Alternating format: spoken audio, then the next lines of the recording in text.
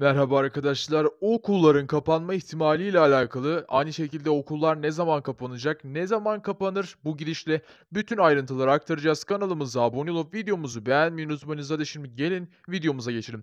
İlk öncelikle şundan bahsetmek istiyorum ki Milli Eğitim Bakanı Mahmut Özer ve aynı şekilde Sağlık Bakanı Fahrettin Koca gibi e, profesör doktorların, uzman isimlerin hepsi okulları kapatmak istemiyoruz. Okulları kapanmayacak gibi bir e, şeyle söylese şunu söylememiz gerekiyor ki bundan önce de Milli Bakanı, eski Milli Bakanı Ziya Selçuk sınavların iptal olmayacağını söylemişti ama sınavlar iptal oldu. Yani bunlar, eee, sözlü olarak kesin söyleyebilirler, eee, Milli Bakanı Fahrettin Koca gibi kişiler ama sonradan, eee, sayılar arttıktan sonra tabii ki mecburen, eee, okullar kapanabiliyor.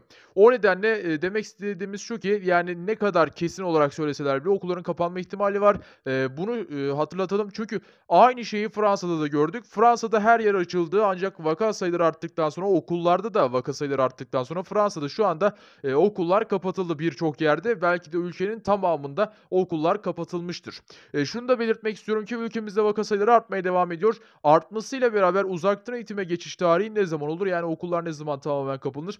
İlk öncelikle şunu belirtmek istiyorum ki eğer ki vaka sayıları her gün, eee, 2-3 bin artarsa ki şu anda azalacak gibi de durmuyor ülkemizdeki son duruma göre. Eğer ki bu şekilde artmaya devam ederse ekim ayı içerisinde okulların uzaktan eğitime geçme ihtimali daha yüksek. Önümüzdeki kabine toplantısında, eee, okulların iptal olma kararı açıklanır mı diye soran arkadaşlarımız var ama şunu belirtelim ki önümüzdeki kabine toplantısında bu kararın açıklanmayacağını düşünüyorum ki büyük ihtimalle açıklanmaz. Ancak bu 2 gün eğitim, eee, filan olabilir. Yani bu tarz açıklamalar gelebilir ama okulların kapanacağı açıklaması kabine toplantısına gelmez. Ancak ekim ayı içerisinde uzaktan eğitime geçme ihtimali vakalar artarsa var. Bakın altını çiziyorum, vakalar artarsa var. Eğer artmazsa tabii ki de okullar açık kalır.